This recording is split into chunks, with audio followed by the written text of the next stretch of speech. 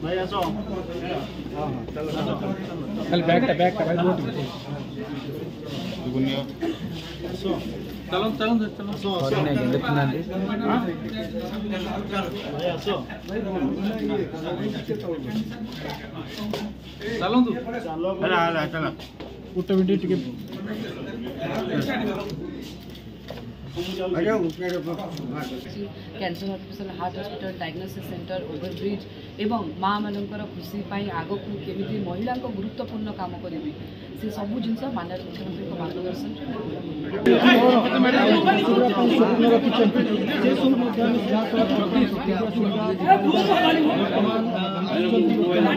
ମଧ୍ୟ ଆମେ ଯାହା ସହ ପ୍ରତିକ୍ରିୟା ଶୁଣିବା ବର୍ତ୍ତମାନ ଆସୁଛନ୍ତି କାଳିଦାସ ମଧ୍ୟ ପ୍ରତିକ୍ରିୟା ରଖୁଛନ୍ତି ଚାଲନ୍ତୁ ସିଧାସଳଖ ମଧ୍ୟ ଆମେ ଅଧିକାରୀଙ୍କ ପ୍ରତିକ୍ରିୟା ସିଧାସଳଖ ଭାବରେ ମଧ୍ୟ ବର୍ତ୍ତମାନ ଆମର ଶୁଣିବା ସମସ୍ତଙ୍କୁ ନମସ୍କାର।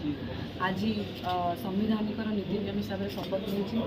ସର୍ବଦା ଝାରସୁଗୁଡ଼ାବାସୀଙ୍କର ସେବାରେ ନିଯୁକ୍ତି ରହିବି।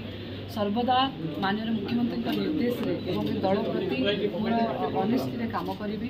ଏବଂ ଶେଷରେ ମୋ ବାପାଙ୍କ ସମସ୍ତ ସ୍ୱପ୍ନକୁ ବିକାଶର ସ୍ୱପ୍ନ ତାଙ୍କ ଚିନ୍ତାଧାରା ତାଙ୍କ ନାଁକୁ ରଖିବି ତାଙ୍କର ବ୍ୟକ୍ତିତ୍ୱକୁ ରଖିବି ତାଙ୍କର ସଂସ୍କାର ଆଦର୍ଶରେ ମାନ୍ୟର ମୁଖ୍ୟମନ୍ତ୍ରୀଙ୍କ ଆଶୀର୍ବାଦରେ ଝାରସୁଗୁଡ଼ାବାସୀଙ୍କର ସେବାରେ ସବୁବେଳେ ନିଯୁକ୍ତି ବି ତାର ଶପଥ ନେଇଛି। ଦେଖନ୍ତୁ ମୋ ବାପା ସ୍ୱର୍ଗତ ଶ୍ରୀ ନବକିଶୋର ଦାସ ମାନ୍ୟର ମୁଖ୍ୟମନ୍ତ୍ରୀଙ୍କ ନେତୃତ୍ୱରେ ସର୍ବଦା ଝାରସୁଗୁଡ଼ାର ବିକାଶ ପାଇଁ ସେ ଭାବିଥିଲେ ତାହା ସ୍ୱାସ୍ଥ୍ୟ କ୍ଷେତ୍ରରେ ହେଉ ତାହା ଶିଳ୍ପ କ୍ଷେତ୍ରରେ ହେଉ ତାହା ଡେଭଲପମେଣ୍ଟ କ୍ଷେତ୍ରରେ ହେଉ ସମସ୍ତ ବିକାଶର କାର୍ଯ୍ୟର ଧ- ମଙ୍ଗ ସେ ଧରିଥିଲେ ଏବଂ ତାଙ୍କର ଯେଉଁ ଅଧୁରା ସ୍ୱପ୍ନ ଥିଲା ଝାରସୁଗୁଡ଼ାର ନୂତନ ନିର୍ମାଣ ତା ତାର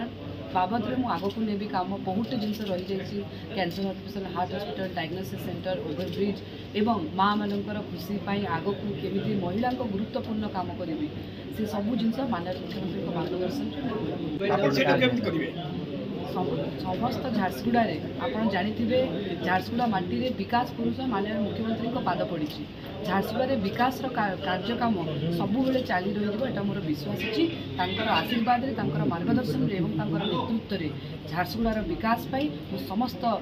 କାର୍ଯ୍ୟମୂଳକ କାମ